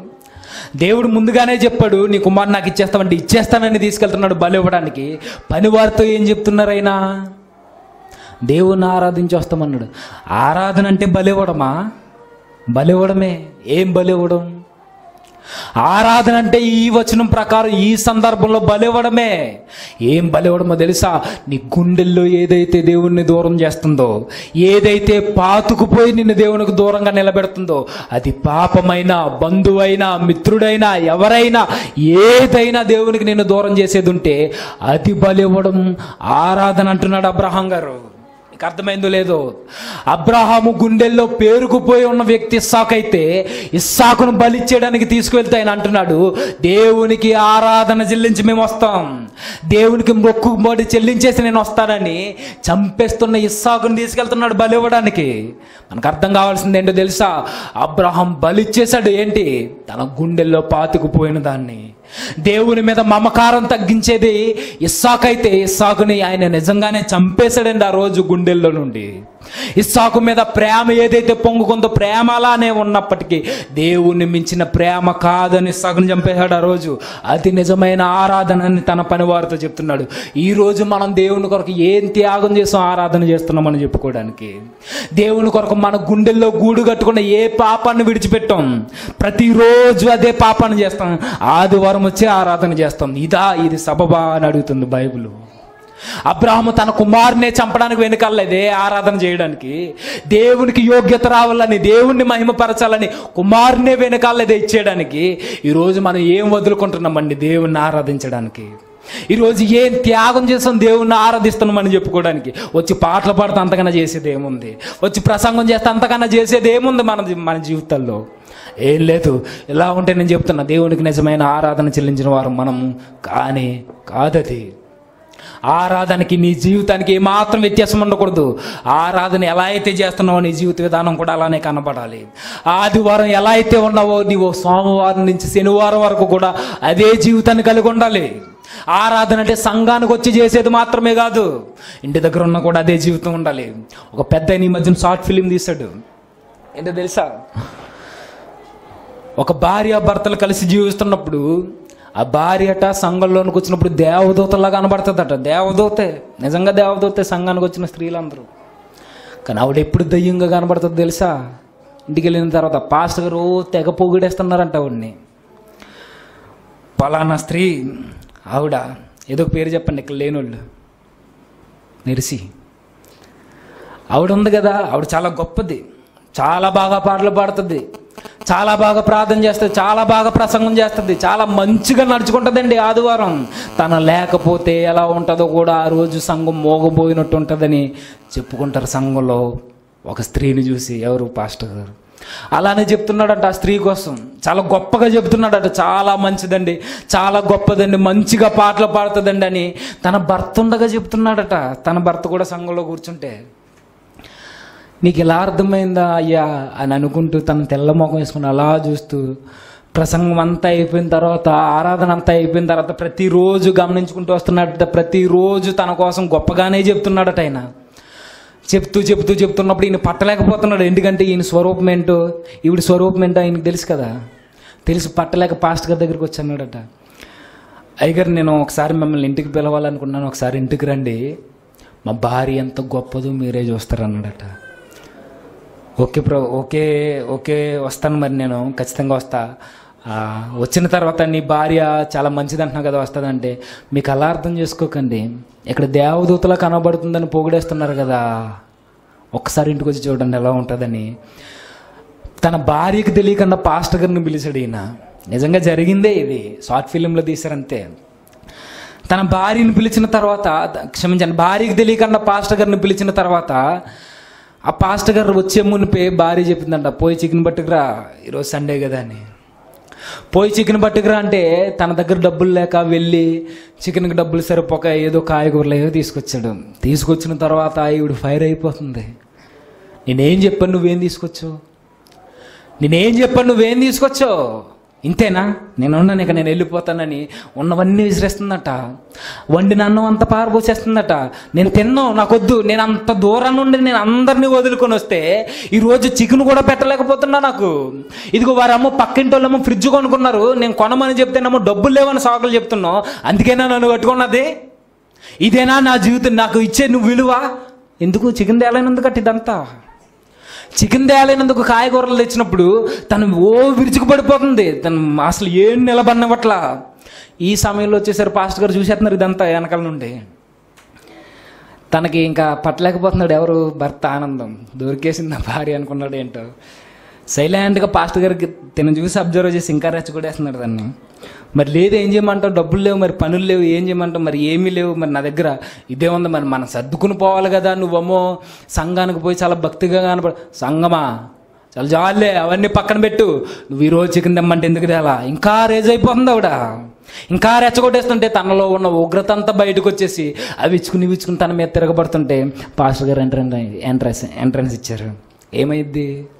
వెంటనే ఇలా ముసుగేసుకుని అయ్యగారు రండి కాఫీ పెడతాను అది.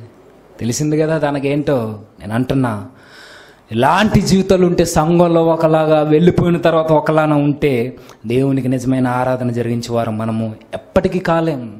నీ బ్రతుకేదైతే ఉందో అదే ఆరాధన కావాలి. నీ చింత ఏదైతే ఉందో అదే పాటలుగా మలవాలి. నీకు ఏదైతే ప్రార్థన చేయాలని అనిపిస్తుందో అదే ఆరాధనగా దేవునికి చెల్లించాలి. పౌరుశీలను చూడండి అది- వారి చెరసాల్లో ఉన్నప్పుడు జరిగింది ఏంటో తెలుసా? వారి పాటలు వారి చింతనే వారి కన్నీళ్ళనే వారు పాటలుగా మార్చుకున్నారు వారు. వారి సంఖ్యలనే వారు తాళాలుగా మార్చుకుని దేవునికి ఆరాధన చెల్లించారు. వారు ఏ స్థితిలో ఉన్నా దేవుణ్ణి ఆరాధించరు. అబ్రహాము చచ్చిపోయి తన కుమారుని చంపేస్తున్న స్థితిలో కూడా దేవుణ్ణి ఆరాధించాడు. ఈరోజు మనం ఏం చేస్తున్నాం? సంఘంలో ఒకలా ఉంటాం ఇంటికి వెళ్ళిపోయిన తర్వాత ఒకలా ఉంటాం. సంఘంలోనికి వచ్చేసరికి దేవదూత బయటికి వెళ్ళేసరికి గయ్యాలి గంప ఇవి మన జీవితాలు. పురుషులు ఏం తీసుకోవడానికి లేదు. ఇక్కడికి వచ్చిన తర్వాత white shirt white black pant white pant వేసుకుని వచ్చేస్తాం. వెళ్ళిన తర్వాత అన్ని కట్టుకొని కూడా వచ్చేస్తారు కదా పాస్టర్లు. ఎవరిని విమర్శించడానికి కాదు. బ్రతుకొకటి ఈరోజు ఆరాధన ఒకటి అయిపోయింది అది కాదు. ఎక్కడున్నా ఒకలానే ఉండాలి. ఎక్కడున్నా ఏ పరిస్థితుల్లో ఉన్నా నీకేమున్నా లేకున్నా ఒకలానే ఉండవు ఒకవేళ ఇది లేకపోతే యశే గ్రంథంలో అన్నట్టుగా మిమ్మల్ని ఎవరు రమ్మన్నాడు నా సన్నిధికి? అంటాడు ఆయన మొహమాటం లేకుండా. నన్ను ఆరాధించడానికి మిమ్మల్ని ఎవరు రమ్మన్నాడు? నీ నడినెత్తి మొదలుకొని అరికాలు వరకు నువ్వు కుష్టి వ్యాధి కలిగిన వాడిగా నువ్వు నాకు కనబడుతుంటే నడినెత్తి మొదలుకొని అరికాలు వరకు జబ్బులతో నువ్వు కనబడుతుంటే రక్తం కారిపోతూ నువ్వు కనబడుతుంటే పాపంతో నిండిపోయి నువ్వు కనబడుతుంటే నేను సన్నిధికి వచ్చి ఎవడ ఆరాధన చేయమన్నాను నిన్ను? నా సన్నిధము పరిశుద్ధంగా ఉండాలని నేను చెబుతున్నా. నా ఆలయం మీరైనప్పుడు మీరే దేవాలయం అని మీకు తెలిసినప్పుడు మీ హృదయాల్ని పరిమళ వాసనగా నాకు కనపరచాలని నేను చెబుతుంటే కంపు కొట్టి నా శవాలుగా చచ్చిపోతున్న మీరు వచ్చి నాకు ఆరాధన జరిగిస్తే నాకు నచ్చుద్దా? నచ్చదు. మలాఖీ గ్రంథంలో కూడా ఈ యాజకులను అదే అంటాడు కదా. నేను నేను మీకు తండ్రిని అయితే నాకు రావాల్సిన ఘనత ఏమైంది? మీరు ఏం చేస్తున్నారు అసలు? నాకు అవసరంలా మీరు రావద్దు సంఘానికి. నీ జీవితం ఒకటి నీ బ్రతుకు ఒకటి నీ బోధ ఒకటి అయితే నువ్వు రావనవసరం లే సంఘానికి. నీ జీవితం ఏదైతే ఉందో నువ్వు అదే ఆరాధన చేయడానికి అర్హుడువు. నీ జీవితం ద్వారానే నిజమైన ఆరాధన వెళ్తుంది. గుర్తుంచుకోండి. మన జీవితం ద్వారానే దేవునికి మహిమ చెల్లాలి ఆయన అంటాడు కదా మీ క్రియల ద్వారా యేసుక్రీస్తు వారు కొండ మీద ప్రసంగంలో మీ క్రియల ద్వారా మిమ్మల్ని చూసి అనిజనులు దేవుని మహిమపరచాలట అది నిజమైన ఆరాధన. మన క్రియల ద్వారా నిజంలో దేవుని మహిమపరచడం తర్వాత సంగతి మన క్రియల ద్వారా కనీసం దేవునికి అపకీర్తి రాకుండా ఉంటే చాలు. మన క్రియల ద్వారా దేవుని మహిమకి మహిమ చెల్లడం తర్వాత సంగతి. దేవునికి ఆయన నామానికి దూషణ కలగకుండా ఉంటే చాలు. మన మాట కానీ మన చూపు కానీ మన ప్రవర్తన కానీ అప్పుడు నిజమైన ఆరాధన చేసిన వారం అవుతాం. అలాంటి జీవితాలు మనకు లేకపోతే పరిశుద్ధత అనే అలంకరణ మనం ధరించుకోకుండా ఇక్కడికి వచ్చి ఇన్ని వారాలు వచ్చి ఇక్కడ కన్నీటి ప్రార్థన చేసినాను ఉపయోగం లేదు. మన జీవితంతో ముడిపడి ఉన్నది ఆరాధన. మన జీవితాల్లో ఏవైతే లోపాలు ఉన్నో వాటన్నిటినీ సరి చేసుకోవడంలో ఉంది నిజమైన ఆరాధన.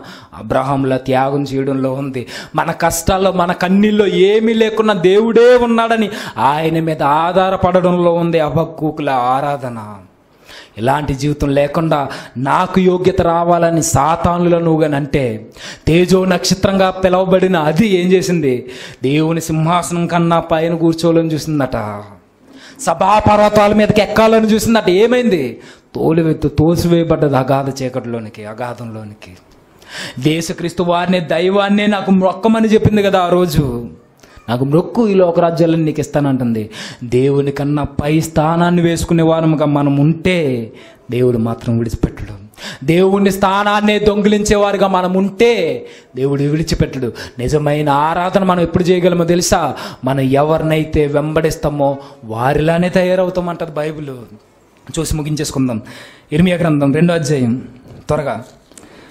ఇర్మియా గ్రంథం రెండో అధ్యాయం.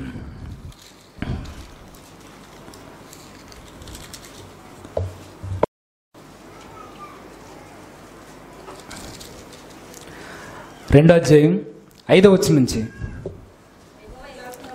యహో ఎలాగ సెలవిచ్చుచున్నాడు.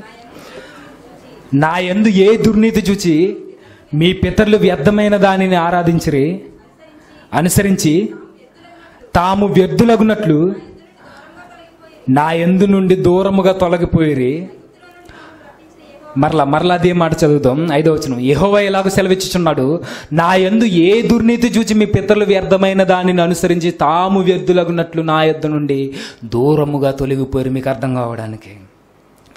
నాలో ఏ దుర్నీతి ఉందని నేను ఏం చేయలేదని మీకు నా నుండి మీరు దూరం అయిపోయారు ఇస్రాయిల్ని అడుగుతున్నాడు ఆయన నేను ఏ తప్పు చేశానని నాలో మీకు ఏ లోపం కనబడదని కనబడిందని నన్ను విడిచి వెళ్ళిపోయారు. మీరేం చేశారో తెలుసా? నన్ను విడిచి వెళ్ళిపోయిన మీరు వ్యర్థమైన దానిని ఆరాధించారు. మీరేమయ్యారో తెలుసా? వ్యర్థులయ్యారు. మనకు అర్థం కావాల్సింది ఏంటంటే మనం ఎవరినైతే ఆరాధిస్తామో ఆయన గురించి మనకు పూర్తిగా తెలియలేదు అనుకోండి మనం కూడా వాళ్ళని తయారవుతాం. ఇస్రాయేలీలు వ్యర్థమైన దాన్ని ఆరాధించారట పశువులను ఆరాధించారట పశువులను మెలు మసులు కొన్నారు వారు. ఈ అన్ని జనులు ఏం చేస్తారు? విగ్రహాలను ఆరాధించారట. విగ్రహాలకి ఎలా అయితే బుద్ధి లేదో విగ్రహాలకి సంబంధించి అవి ఎలా అయితే చూడలేవో ఎలా అయితే మాట్లాడలేవో వీరు కూడా బుద్ధిహీనులయ్యారట. వ్యర్థమైన దానిని అనుసరిస్తే మనం కూడా వ్యర్థముగానే తయారైపోతాం. మనం దేన్నైతే ఆరాధిస్తున్నామో ఆయన గురించి మనకు పూర్తిగా తెలియకపోతే మనం కూడా వ్యర్థమైన దాన్ని ఆరాధించిన వారమే. ఇస్రాయేలీలు వ్యర్థమైన దానిని ఆరాధించి వ్యర్థులైపోయారు. మనం అనుసరిస్తున్న దేవుడు మన జీవితాలను బట్టి ఆయన వ్యర్థుడు కాదు కానీ నువ్వు ఆరాధించే దేవుడు నువ్వు గూడులు కట్టుకున్నావు చూసా? ఆ దేవుడైతే కాదు. నువ్వు నమ్ముకుంటున్నాను యేసుక్రీస్తు అని చెప్పుకుంటున్నావు తెలుసా? ఆ యేసుక్రీస్తు వారికి పేరు పెట్టిన ఆ దేవుడు నువ్వు అనుసరిస్తున్న నీ గుండెల్లో ఉన్న దేవుడు వేరైనా నీకు అర్థమైందో లేదా? నువ్వు ఎవరైతే పేరు పెట్టుకున్న క్రిస్టియానిటీ యెహోవా దేవుణ్ణి యేసుక్రీస్తు వారిని మనం ఆరాధిస్తున్నామో అని చెప్పుకుంటున్నామో నీ గుండెల్లో నీ క్రియల ద్వారా ఆరాధిస్తున్నాం తెలుసా? ఆ క్రియల ద్వారా ఆరాధించే దేవునికి నువ్వు నమ్ముకుంటున్నాను నేను ఆరాధన చెల్లించేస్తున్నాను అని అనుకుంటున్న ఆ యేసుక్రీస్తు వారికి చాలా వ్యత్యాసం ఉంది. ఎందుకంటే మన జీవితం యేసుక్రీస్తు వారిలా లేకపోతే మనం అనుసరించే దానిలా లేకపోతే మనం దేన్ని అనుసరిస్తున్నామో మనం ఆరాధించే మన జీవితాన్ని బట్టే చెప్పేచ్చట. నువ్వు వ్యభిచారం చేస్తున్నావు అనుకో యేసుక్రీస్తువుని ఆరాధిస్తూ నువ్వు నిజంగా యేసుక్రీస్తువుని ఆరాధిస్తున్నట్టు కాదు. నువ్వు వ్యభిచార దేవతను ఆరాధిస్తున్నట్టు. నువ్వు దొంగతనం చేస్తున్నావు అనుకో నువ్వు దొంగను ఆరాధిస్తున్నట్టు యేసుక్రీస్తు వారిని కాదు. మనం అనుకుంటున్నాం ఆయన్ని ఇవేమీ లేకుండా జీవితం ఒకటి నీ ఆరాధన ఒకటి అయిపోతే నేను చెప్తాను. నీ జీవితాన్ని బట్టి నీ దేవుడు ఎవరో నీకు అర్థమైపోద్ది ఏదో పేరుగా అనుకుంటున్నాం అంటే ఆయన ఆరాధిస్తున్నాం ఆయన ఆరాధించడం అంత సులభం కాదు. మన జీవితాలను బట్టే ఆరాధించగలం. అలాంటి జీవితం లేకపోతే మనం దేన్నైతే ఆరాధిస్తామో అలానే మారిపోతాం. బైబిల్ అంటుంది మనం క్రీస్తుని ధరించుకున్న మనం ఎలా ఉండాలట? క్రీస్తు వలేనే మారాలట. మా ఆయన వచ్చినప్పుడు మనం ఎలా ఉంటామట?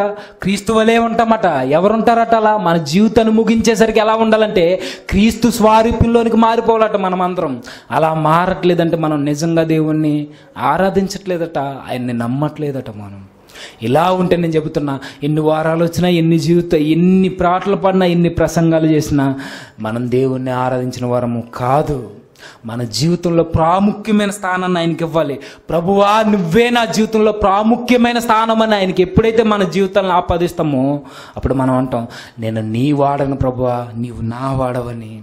మన జీవితం మన జీవితం ఆయన ముందర పెట్టడం ద్వారా మనం అంటున్నాం. నీవే నా దేవుడు అని. మన ఆయన ముందు మన జీవితంలో పెట్టకుండా మన మీద ఆయనకి అధికారం ఇవ్వకుండా ఉంటే వ్యర్థమైన వాటిని అనుసరించి వ్యర్థులయ్యారు. మనం కూడా దేన్ని ఆరాధిస్తున్నామో? మన జీవితమే మనకు తెలియజేస్తుంది. మనం నిజంగా దేవుణ్ణి ఆరాధిస్తే మనం క్రీస్తు స్వారూప్యంలోకి మారాలి. అలా మారట్లేదంటే మనం నిజంగా క్రీస్తుని ఆరాధిస్తున్న వారము. కాము కాలేము ఎప్పటికీ కాము కూడా. ఇలానే జీవితాన్ని ముగించుకుని వెళ్ళిపోతాం. ఆరాధిస్తున్నామన్న భ్రమలో ఉంటాం. ఆరాధన కూడా అర్థం తెలియకుండా జీవితాన్ని ముగించుకుంటాం. ఎవరికి ప్రాముఖ్యమైన పేటలు అయ్యేది ఎవరికి? ఆరాధన అంటే వర్షిప్ వర్షిప్ అంటే దేవునికి మాత్రమే యోగ్యత చెల్లించాలి. ఆయన మాత్రమే ఆరాధింపబడాలి సంఘంలో. ఎవ్వరు కనబడడానికి వీల్లేదు. ఇదేమి రంగస్థలం కాదు కదా ఎక్కడికి వచ్చి ప్రదర్శించడానికి? కాదు. ఇది ఆరాధన సమయం ఆరాధన స్థలం. ఇదేమి యుద్ధ భూమి కాదు నాకు. ఇదొచ్చి ఇదొచ్చి. తలాంతులు ప్రదర్శించడానికి కాదు నీకు తలాంతులు ఇచ్చింది. ఎక్కడికి వచ్చి నాకు ఈ గొప్పతనం ఉంది నాకు ఈ తలాంత ఉందని ప్రదర్శించడం కాదు ఆరాధన. ఆరాధన అంటే నీ తలాంతులను కూడా పక్కన పెట్టి మనస్ఫూర్తిగా ఆత్మతో ఆరాధన చేయడమే నిజమైన దేవునికి నిజముగా మహిమను చెల్లించడం. అలాంటి ఆరాధన కావాలి. మనం కనబడడం కాదు. మనల్ని చూస్తే దేవుడు కనబడాలి. అది నిజమైన ఆరాధన జరిగే స్థలం. అలా ఉండాలని ఆశిస్తున్నా మరిన్ని మాటలు అన్నది ద్వారా అందరం ప్రార్థన చేసుకుందాం. మమ్మల్ని మిక్కిలిగా ప్రేమించిన మా ప్రియ పరలోకపు తండ్రి దేవా మీరు మమ్మల్ని ప్రేమించి తండ్రి మిమ్మల్ని ఆరాధించే సమయాన్ని మాకు ఇచ్చినా మిమ్మల్ని ఎలా ఆరాధించాలో మాకు అర్థం కావట్లేదు తండ్రి. తెలుసుకున్న మేము మా జీవితాలు ఎలా అయితే ఉంటావో మేము కూడా వారిని అనుసరిస్తున్నామని మాకు అర్థమవుతుంది తండ్రి. మా జీవితాలు మిమ్మల్ని ప్రాముఖ్యంగా పెట్టుకుని మా జీవితాలు మీ ముందర పెట్టి తండ్రి మేము అనగలం తండ్రి. మీరే మా దేవుడని. అట్టి ధన్యతను మాకు అనుగ్రహించండి. మనస్ఫూర్తిగా మిమ్మల్ని ఆరాధించే మిమ్మల్ని స్థుతించే భాగ్యాన్ని మాకు మరలా అనుగ్రహిస్తారని మీ పిల్లల్ని ఏమైనా బాధ పెట్టుంటే నన్ను క్షమించమని నా వెనక చెప్పబోతున్న మీ సహో మీ కుమారులకి తండ్రి సమయోచితమైన జ్ఞానాన్ని మా ఆత్మలకు అవసరమైన మాటలను అందిస్తారని ఆశిస్తూ ఈ ప్రార్థన మీ కుమారుడును మా రక్షకుడునైనా క్రీస్తునామని సమర్పిస్తున్నాము తండ్రి. ఆమె